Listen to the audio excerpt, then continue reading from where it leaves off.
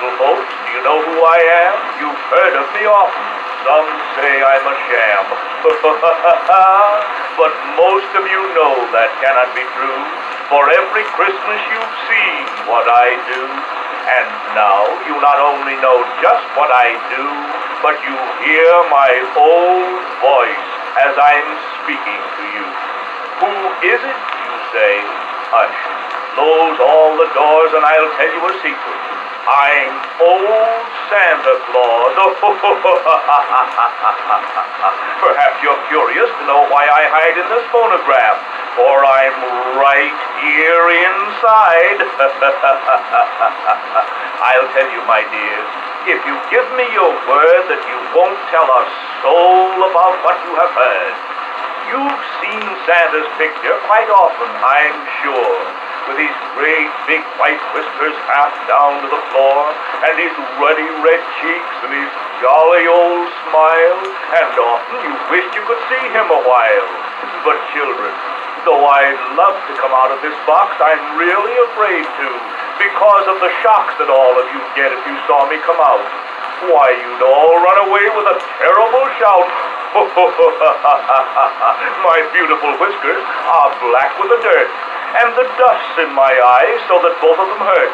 And my lovely red robe with its trimming of white is as black as the black of a black winter's night. and it's all because I have to climb down the many long chimneys you have in this town. Before I can possibly come out and greet you, I must take a warm bath, and then perhaps I'll meet you. Don't think that I mind getting dirty like this, for it's something I'd really be sorry to miss. I have to go down all these sooty old places to bring gifts to the children and smiles to their faces. But before I get out and disappear soon, I'll give you a treat. It's a bit of a tune that I'll play on my chimes that I've got with me here. So listen, dear children, to some real Christmas cheer.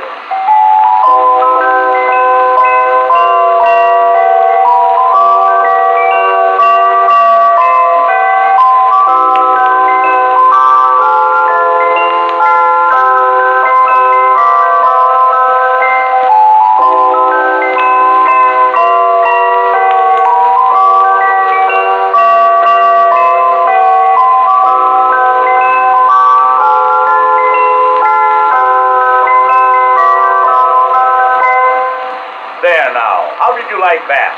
Well, now I must be off. If I can ever get out of this box. Mmm! There. My, that was a tight squeeze. Come on now, up, Prancer! Way! Good night! Good night! Good night!